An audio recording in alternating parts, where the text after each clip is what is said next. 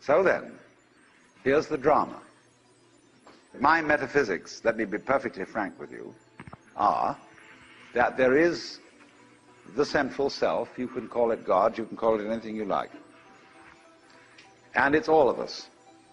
It's playing all the parts of all beings whatsoever, everywhere and anywhere. And it's playing the game of hide and seek with itself. It gets lost, it gets involved in the farthest out adventures, but in the end, it always wakes up and comes back to itself. And when you're ready to wake up, you're going to wake up. And if you're not ready, you're going to stay pretending that you're just a little, poor little me. And uh, since you're all here and engaged in this sort of inquiry and listening to this sort of lecture, I assume that you're all on the process of waking up. Or else you're teasing yourselves with some kind of uh, flirtation with waking up, which you're not serious about. But I assume maybe you are, not serious but sincere, that you are ready to wake up. So then, when you're in the way of waking up and finding out who you really are, you meet a character called a guru. As the Hindus say this word, the teacher, the awakener. And what is the function of a guru? He's the man who looks at you in the eye and says, oh, come off it. I know who you are. You know, you come to the guru and say, sir, I have a problem. I'm unhappy and I want to get one up on the universe or I want to become enlightened.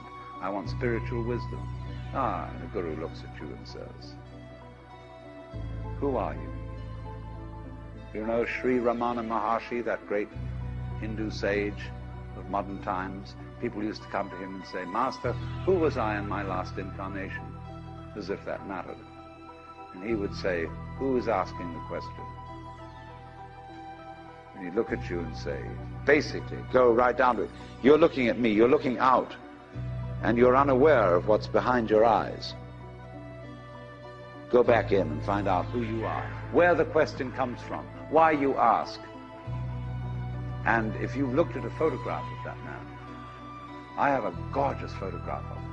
And you look in those, I walk by it every time I go out of the front door. And I look at those eyes and the humor, lilting laugh that says, oh, come off it. Shiva, I recognize you. When you come to my door and you say, I'm so-and-so, I say, ha ha, what a funny way God has come on today.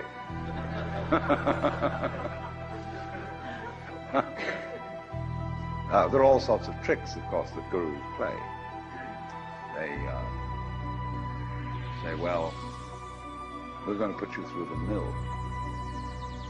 And the reason they do that is simply that you won't wake up until you feel you've paid a price for it. In other words, the sense of guilt that one has, or the sense of anxiety, is simply the way one experiences keeping the game of disguise going on. You see that? Supposing you say, I feel guilty.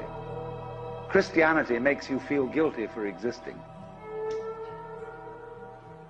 That somehow the very fact that you exist is an affront you are a fallen human being. I remember as a child when we went to the services of the church on Good Friday, they gave us each a colored postcard with Jesus crucified on it. And it said underneath, This have I done for thee. What doest thou for me? You know, you felt awful. You nailed that man to the cross. Because you eat steak, you have crucified Christ because you killed the bull. After all, you depend on it. Mithra, it's the same mystery. And what are you going to do about that? This have I done for thee, what doest thou for me? You feel awful that you just exist at all. But that sense, that sense of guilt, is the veil across the sanctuary. Don't you dare come in. In order to, you know, in all mysteries, when you're going to be initiated, there's somebody saying, ah, ah, ah, ah, don't you come in. You've got to fulfill this requirement, of this requirement, of this requirement, of this requirement. Then we'll let you in. So you go, you, you go through the mill. Why? Because this is, you're saying to yourself, I won't wake up until I feel I deserve it.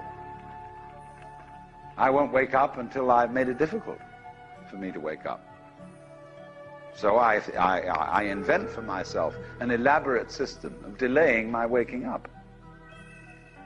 I put myself through this test and that test, and when I feel it's been sufficiently arduous, then I may at last admit to myself who I really am and draw aside the veil and realize that after all, when all is said and done, I am that I am, which is the name of God.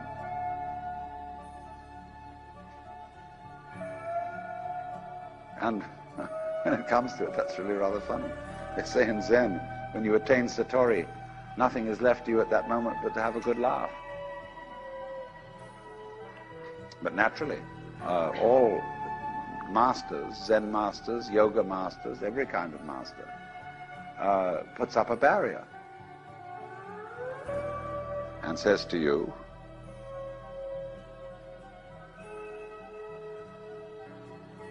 He simply plays your own game. You know, we say anybody who goes to a psychiatrist ought to have his head examined. Because you, when you go to a psychiatrist, you define yourself as somebody who ought to have his head examined. Same way, uh, the Zen masters say anybody who studies Zen or comes to a Zen master ought to be given 30 blows with a stick. Because he was stupid enough to pose the question, that he had a problem. But you're the problem. You, you put yourself in the situation. So it's a question fundamentally. Do you define yourself as a victim of the world or as the world?